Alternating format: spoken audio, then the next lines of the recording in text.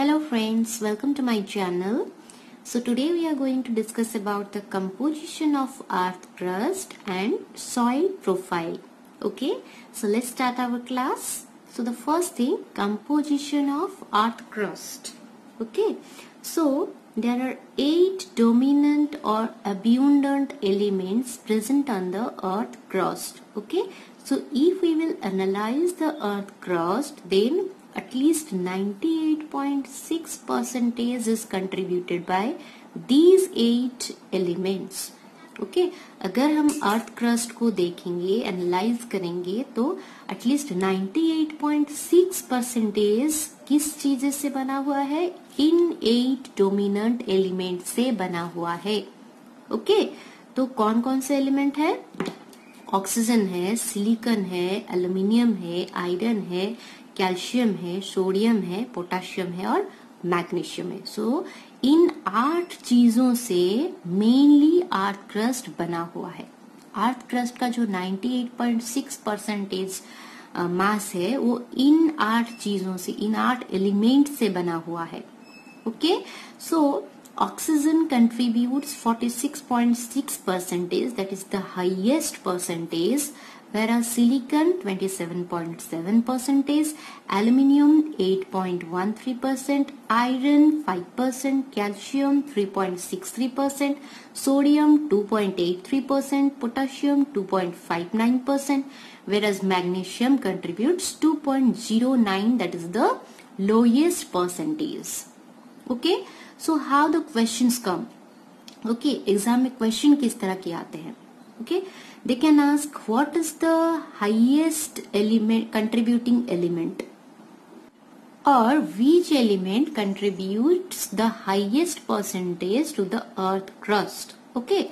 So the answer is oxygen and the percentage is 46.6 percentage. Okay. As you can see here 46.6 percentage. Okay. Then the second highest is silicon contributing 27.7 percentage. Okay. Another type of question may come like this. What is the percentage of non-metals? Okay. In earth crust. That is 74.3 percent. How it comes? 46.6 percentage plus 27.7 percentage. If we will add these two, then we will get the total percentage contributed by non-metals. Okay, if we will see these eight elements, among these eight elements, these two are only the non-metals, whereas others are the metals. Okay अगर हम इन आठ elements को देखेंगे तो इनमें से यही दो है जो कि नॉन मेटल हैं और बाकी सब मेटल्स हैं। Okay so the percentage that is contributed by the non metals non metal कितना है? ओके okay, हमने जो यहाँ 98.6 परसेंटेज देखा है या फिर टोटल अगर हमने टोटल मास को हमने अगर 100 परसेंटेज लिया तो out of 100 percentage we can get 74.3 percentage okay? तो 74.3 परसेंटेज जो है, वो नॉन मेटल्स हैं। ओके? देन रेस्ट 25.7 परसेंटेज वो कौन है? वो है metals okay? Another type of question में come which non metal contributes the highest that is oxygen which metal contributes the highest then that will be aluminium okay? So ध्यान से यहाँ पे सुनिए, तीन क्वेश्चंस आ रहे हैं। पहला, कौन सा एलिमेंट हाईएस्ट कंट्रीब्यूशन दे रहा है, वो है ऑक्सीजन कौन सा नॉन मेटल हाईएस्ट कंट्रीब्यूशन दे रहा है, वो भी ऑक्सीजन पर अगर कौन सा मेटल हाईएस्ट कंट्रीब्यूशन दे रहा है, अगर क्वेश्चन में आता है तो answer will be aluminium not oxygen okay तो यहाँ तक क्लियर होगा सबको? Okay then coming to soil profile okay so what is soil profile तो अगर आप एक सॉइल को सरफेस से डिग करते हुए नीचे की ओर जाएँगे तो आप देख पाएँगे कि बहुत सारे लेयर्स बने हुए हैं। ओके मे बी इसका कलर थोड़ा लाइट रेड कलर हो सकता है, इसका कलर ब्लैक हो सकता है, इसका कलर येलो हो सकता है। ओके इससे कलर के ऊपर आप डिफ्रेंशिएट कर सकते हैं। ओके अगर आप उन सॉइल लेयर को टच भी करेंगे थोड़ा सा ला, लाके आप फील करने की कोशिश करेंगे ऐसे अपने दोनों फिंगर्स में रख के फील करने की कोशिश करेंगे तो आपको उसमें भी डिफरेंसेस नज़र आएँगी। ओके सो तो सॉयल प्रोफ़ाइल होता क्या है? It is a vertical section through the soil okay vertical का मतलब समझ में आता है ये है वर्टिकल लाइन ये होता है हॉराइजॉन्टल लाइन ऐसे अगर आप नीचे की ओर जाते हैं तो इसे हम वर्टिकल बोलते हैं वर्टिकल एंगल एंड अगर आप ऐसे सीधे सीधे चलते हैं, इसे हम क्या बोलते हैं? Horizontal line okay I hope this is clear to you okay so if we will dig a soil and we will check the vertical section inside that soil or through that soil that is known as soil profile okay which is actually made up of distinct layers okay distinct layer. Why distinct? Because we can differentiate okay visually as well as we can feel feel the difference okay by touching that soil from this layer from this layer from this layer and from this layer okay. So the soil profile it is consists of or it is made up of distinct layers and those layers are called as the horizons okay okay, तो ये जो single layers होते हैं हम उनको क्या बोलते हैं हॉराइजन्स बोलते हैं okay okay? So there are five master horizons in every soil profile. Okay, in an average अगर हम देखेंगे तो पाँच मास्टर हराइजन होते हैं सॉइल प्रोफ़ाइल में। ओके okay, क्या क्या होते हैं? O A B and C okay O A B C so these are the five master horizon so O stand for organic horizon A stand for eluvial horizon okay? E stands for transitional horizon, B stands for alluvial horizon, C stands for bedrocks. Okay okay? So so, यहाँ पे आप थोड़ा confuse हो सकते हैं ये alluvial है mean starting from E and ये इलूवियल है स्टार्टिंग फ्रॉम आई ओके ये आई से शुरू हो रहा है ये ई e से शुरू हो रहा है ओके सो कंफ्यूज नहीं होने का okay so the first one let us discuss one by one horizon. The first one is organic horizon. Okay so the organic horizon it is the most important and the first layer or the first horizon in the soil profile. Okay, but the two important thing about this layer is one is it is usually found in undisturbed ecosystem that is especially in the forest okay and not seen or even absent in cultivated land okay why it is absent in cultivated land and why it is present in forest area that I am going to explain. Okay. So, the first layer क्या होता है organic horizon होता है okay तो ये organic horizon मिलता कहाँ पे? हर जगह पे ये ऑर्गेनिक होराइजन नहीं मिलता है। कहाँ पे मिलता है? फॉरेस्ट एरिया में या फिर अनडिस्टर्ब्ड लैंड में मिलता है। ओके okay, जो लैंड को हम डिस्टर्ब नहीं कर रहे हैं उस लैंड पे हमें ये ऑर्गेनिक लेयर मिलता है। पर जो कल्टीवेटेड लैंड है जहाँ पे हम लोग हमारा प्लांट उगा रहे हैं ओके okay, उस टाइप के लैंड में हमको जो फार्मर का लैंड होता है उस लैंड में हमको ये ऑर्गेनिक हराइजन नहीं मिलता है। ओके सो फॉरेस्ट में क्या होता है?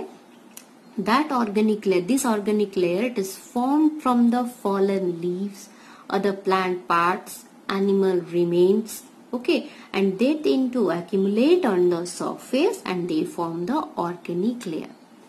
तो जंगल में क्या होता है? प्लांट से जो पत्ते गिरते हैं या फिर प्लांट का जो पार्ट्स गिरता है या फिर कोई मतलब पशु पक्षी मर जाते हैं, उनका जो रिमेनिंग पार्ट होता है ओके सो वो सब मिलकर क्या होते हैं? एक सॉइल सरफेस के ऊपर एक ऑर्गेनिक लेयर बना जाते हैं ओके समझ में आ रहा है?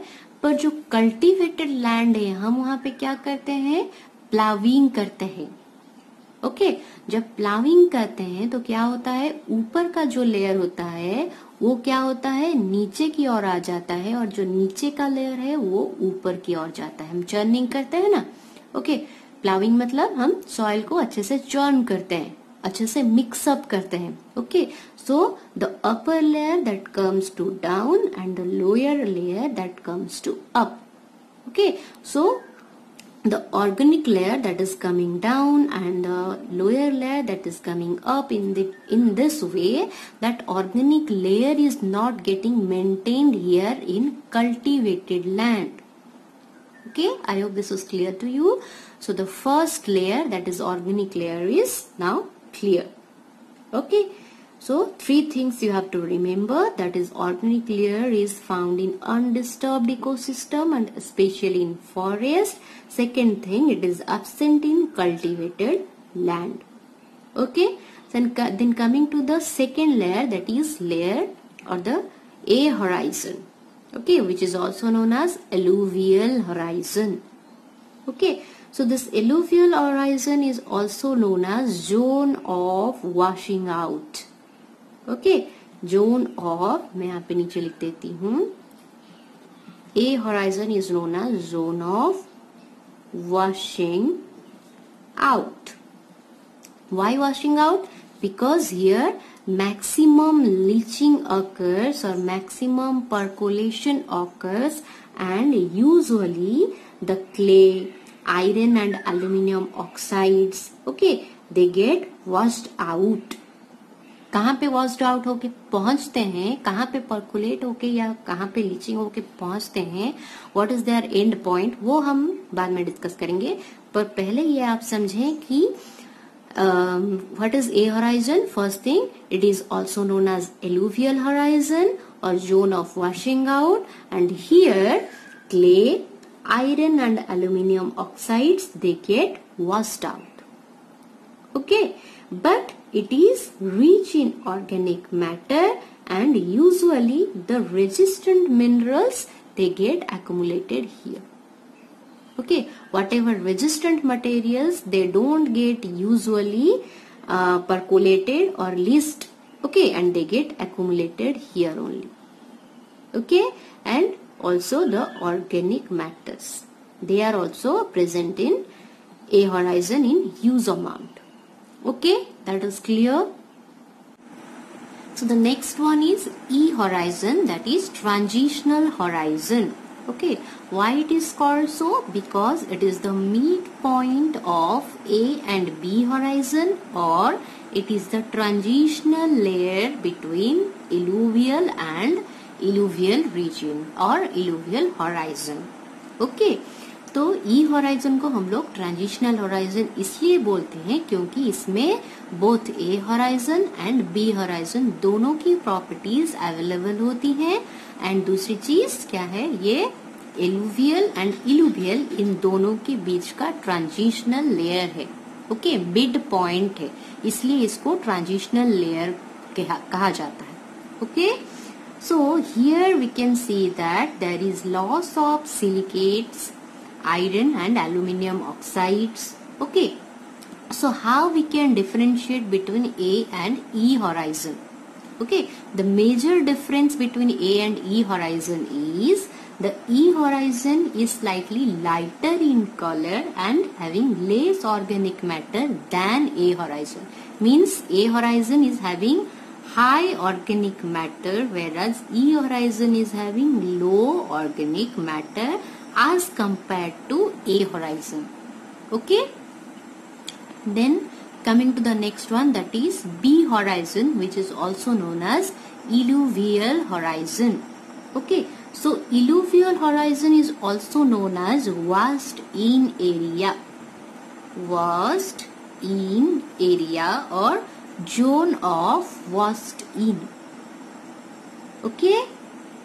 Means whatever uh, material that is getting washed out from A horizon they get deposited in B horizon.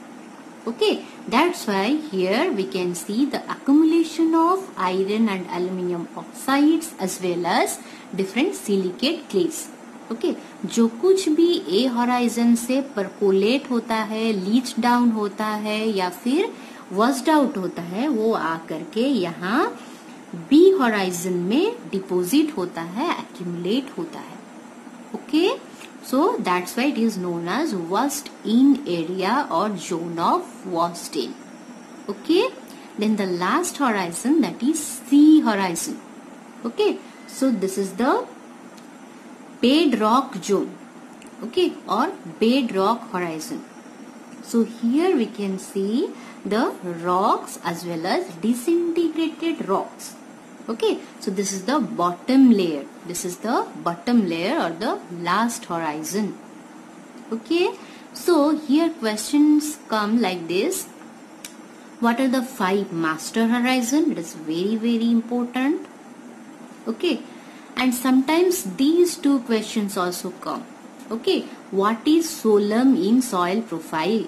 If we will combine a horizon plus b horizon then these two horizon they are called as solemn in together. Okay, so if we will combine A plus B plus C, this is A, this is B and this is C. Okay, so if we will combine 1 plus 2 plus 3 horizon then that is known as regolith. Okay, so only A plus B is solemn whereas A plus B plus C they collectively called as regolith. Okay so I hope इतना तक आपको समझ में आ गया होगा। आज के लिए बस इतना ही। अगर वीडियो अच्छा लगा हो तो प्लीज़ लाइक कर दीजिएगा और अपने दोस्तों के साथ ज़रूर शेयर कीजिएगा। अगर वीडियो अच्छा नहीं लगा है तो फिर नीचे कमेंट बॉक्स में ज़रूर लिखिएगा। ओके और अगर आप मेरे चैनल में नए हो तो इसे सब्सक्राइब करना बिल्कुल मत भूलिएगा। तो मिलते हैं नेक्स्ट वीडियो में। तब तक के लिए bye bye and take care